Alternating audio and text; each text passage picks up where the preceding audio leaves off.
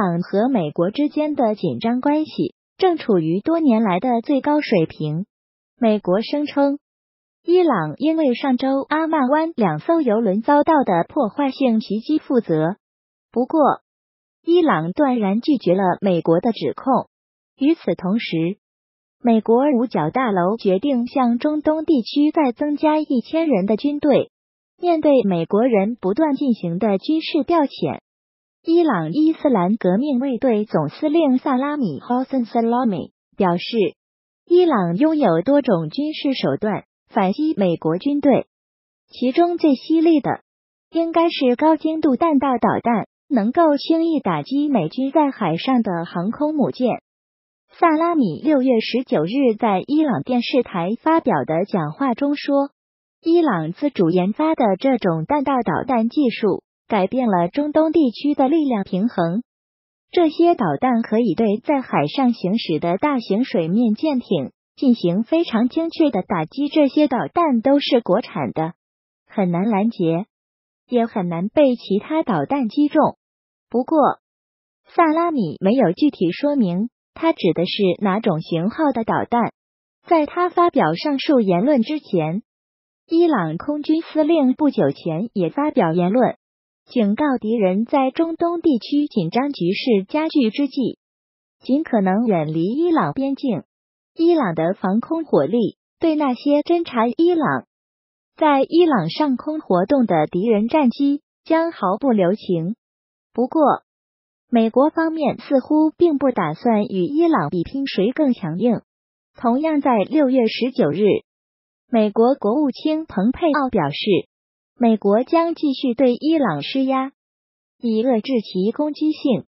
但他补充说，美国并不打算发动战争。特朗普总统不想要战争。我们将继续传达这一资讯，同时采取必要措施保护美国在该地区的利益。蓬佩奥在佛罗里达州麦克迪尔空军基地发表演讲时说。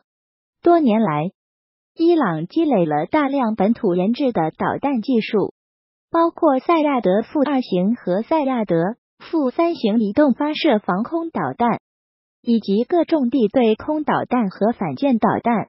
今年二月，德黑兰在一个国防展览会上展示了霍维伊泽 （Hawizn） 的新型远端巡航导弹。据称，该巡航导弹的射程。在一千三百公里左右，具备精确打击能力，相信能给敌人造成重大威胁。从射程上看，该巡航导弹覆盖了中东大部分地区，而且据说能够在大多数敌人雷达探测不到的情况下进行低空飞行。伊朗新闻电视台当时援引伊朗国防部长哈塔米在展出期间的讲话称。这款导弹能够在较短时间内做好发射准备，十分高效。哈塔米指出，这款导弹是伊朗航空航天工业组织公司研发的，射程超过一千三百五十公里，命中精度高。最重要的是，该导弹能够在末段进行低空飞行，隐蔽效能非常好，很难拦截。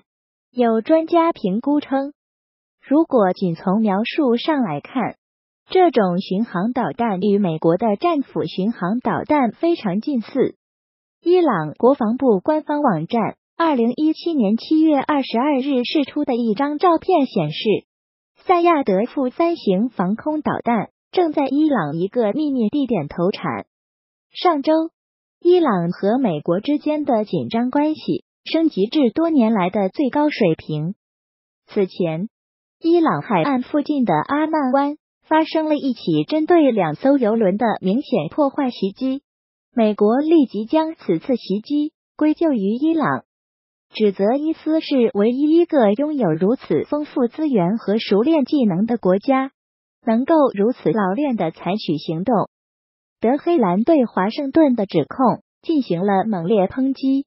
伊朗外长扎里夫 （Mohammad Javad 表示，美国的说法没有丝毫事实依据，甚至没有甚至间接证据。美国的主要盟友德国、法国、日本以及俄罗斯都敦促保持克制。有国家警告称，美国决定因游轮事件向中东增派一千名士兵，以对抗伊朗。这有可能开启一个潘多拉盒子，带来意想不到和不可预测的后果。